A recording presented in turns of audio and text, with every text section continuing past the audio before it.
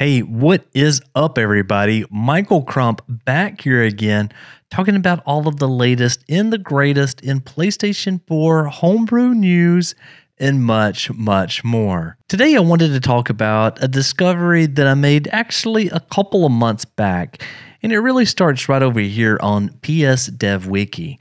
So, I noticed that this page had this section that was titled Button Combo Menus. And inside of this page, there was a number of different button combos that you could use on a PlayStation 4. Now, I absolutely love secrets that's typically hidden in different console hardware where maybe you know you can grab your controller and you can press a certain number of buttons and maybe do things like activate staff mode or get out of a kiosk mode. I did this stuff when I was a kid and I absolutely love this stuff today. So, looking at a couple of the options here, they had this one, which was the exhibition show mode. So, this toggles the exhibition mode on a test kit PS4. So, I don't have a test kit PS4, so I can't try this one. This one right here is just listed as more information. I'm not exactly sure what all this does. There is a staff mode. So, this is an example of those that maybe it was a demo kiosk or something of that nature. So, you could enter into the staff mode, which I'm sure you could do things like maybe HDMI settings or display resolution, things of that nature. Then there is this OMSK version, which again is typically a display kiosk. So something that you may see inside of like a Walmart or a GameStop. And then there was this logo and copyright info. So in this example, they refer back to a Twitter post that says in the information menu for any application, if you press these buttons, it will show a logo and a copyright information. So, not that interesting, but something that definitely I'd like to try in just a moment. And then there is system information. So, this shows additional information on the system information screen than what we may be used to.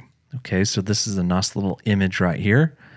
Okay, so definitely it tells a lot more than just the standard, I don't know, what is it, five fields that we typically get when we go to system information and there is a retail version, or if you have a debug console, there is the store information. So basically, this is just the Konami code that most of us, at least if you grew up in the 80s and 90s, you may be familiar with. So this display store information must have accessed PSN store before for anything to show up. This one I can't actually try on my test console, but I can at least try the system information one and as well as the logo and copyright info. And let's see what else we've got. Then there is a web browser font submenu. So in the web browser settings, press this sequence right here and it unlocks a font submenu. That would be pretty cool to go check out. And then there is debug settings on a non store mode. So this unlocks debug settings, which we typically have access to that through the jailbreak.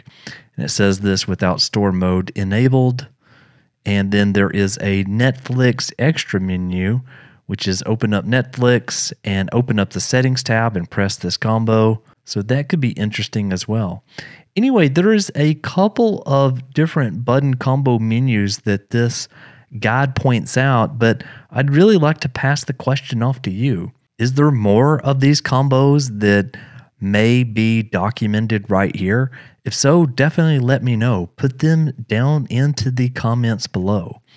Okay, so we've got a couple of these that we can go and try. So let's go ahead and I'll switch over to my PlayStation 4 and let's give these a whirl. Okay, so we are going to begin with the easiest one first, and that's just displaying the logo and the copyright information.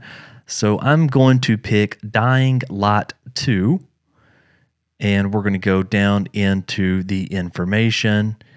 And at this point, we're going to go ahead and we are going to press triangle, square, and then the options button all at the same time.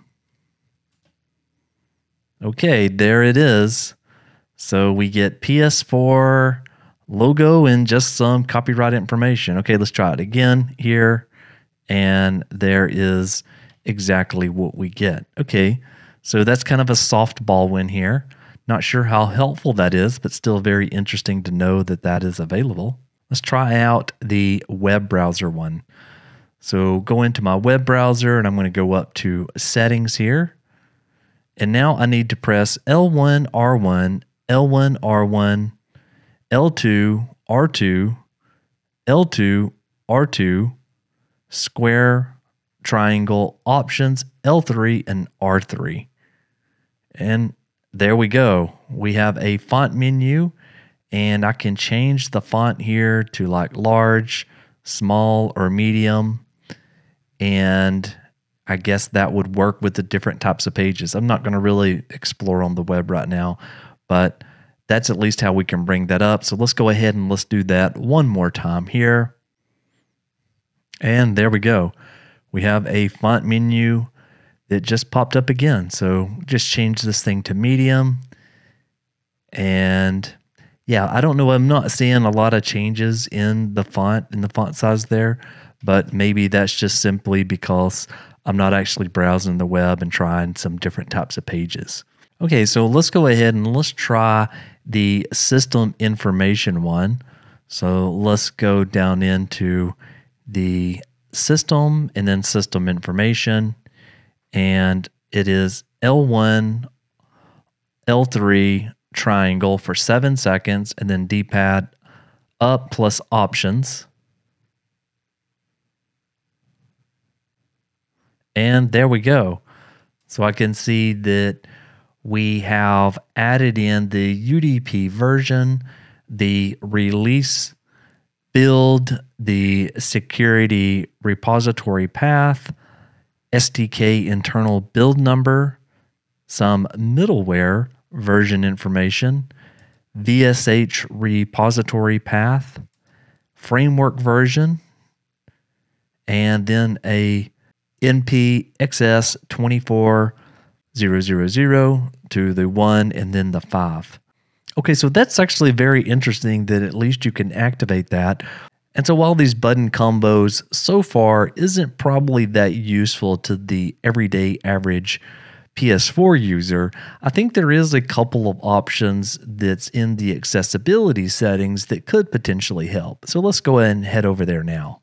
Let's go into our settings here and then accessibility. And we'll begin with this one, which is just called zoom. So let's enable the zoom. And it says right here that in order to zoom in and to zoom out, it's basically just pressing the PlayStation button plus square gives us a zoom, or we can cancel out of that zoom by just pressing circle. We can move around with the D pad. So let's give this a shot. Okay, so I'm going to zoom in here first. Okay, nice zoom in effect there. I'm moving around with the D pad and I'm canceling with the circle button. And then let's take a look over here in that same accessibility menu for button assignments. So the button assignments, I think, is something that a lot of people skip over but this actually allows you to change your controller button assignments. It says that this doesn't work with some controllers, and those are primarily any of the third party controllers. So, if you're like me, one of my guiding principles is, is that you should always buy Sony branded or Sony official controllers and never deal with any of the third party controllers. So, let's go into that and let's see what it looks like. Okay, we're going to enable it and now we're going to customize. Basically, you can just remap any of the buttons to anything that you would like for them to be. So let's go in, let's take one of these and we'll press the X button to go into it. And okay, there is the menu that it gives us. So we could basically remap the triangle button to any of the PlayStation 4 buttons that's available. Okay, and so that is going to do it for this one. Again, I remind you to leave a comment down below if maybe the PS Dev Wiki is missing some of the different combos that you already know about. Is there any other secret features that you're aware of that deals with the Sony PlayStation 4 buttons and button combos? Let me know. I'd love to learn. So thank you so very much for watching. Don't forget to like the video, give me a comment down below, and always hit the subscribe button if you want more PlayStation 4 news. Thanks again for watching, and I'll see you on the next one. Michael, out.